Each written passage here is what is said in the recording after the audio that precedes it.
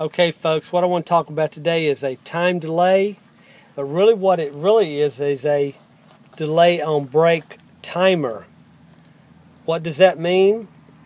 When the thermostat kicks in and calls for the outdoor unit to come on, it's going to delay the compressor from kicking in. It's going to delay the main power to come into the contactor coil to energize the system. And the benefits of this if you have, um, say, a lightning storm, you have power outages, the power company's coming in and out.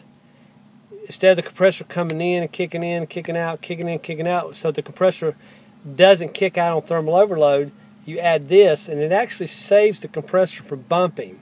Also, it can also save the compressor from coming on too quick and allowing liquid to get into the system and causing compressor failure. This is a very modest investment to put on your AC system, and I highly recommend it. And here's where this goes. What we, all we do is we have our low voltage wire coming in from the thermostat, um, excuse me, the air handler inside, and I've already taken the liberty of pulling this apart. Okay. This is just a common. You can go through either side. In this case, this is just a condenser. I normally recommend going through the compressor side, but in, in this particular situation, it doesn't really matter. So I'm going to take one side of the time delay our delay on break. Put it here. And I'm going to take the other side, strip this off a little bit.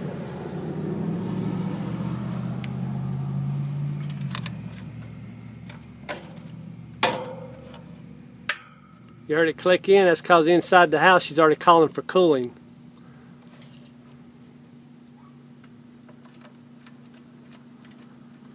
Now I normally set mine, you can go up to 10 minutes. I normally set mine anywhere from 5 to 7. So I've got this, I'm going to set this one on 7. And I'm going to do this. And that's, that's all there is to it. But I want to point out one more thing here. When you get out here, guys, and you see a, a, a condenser like this one right here, for instance, I want to show you. See the dirt in here?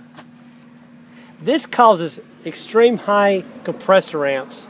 When you see a dirty coil, take a few minutes and take a water hose and rinse this thing off. You can loosen these four little screws right here and you can rinse this whole thing out.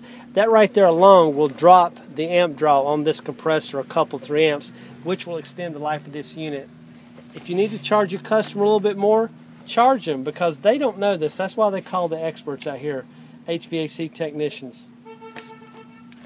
Okay, and if you have any questions on how a time delay works, Give me a call at Jones Air Conditioning, 239-596-5855. Go to jonesairconditioning.com, and if you like this, please share, please subscribe, and please comment, and always take the extra effort to take care of your customer because they depend on us as professionals. Thank you.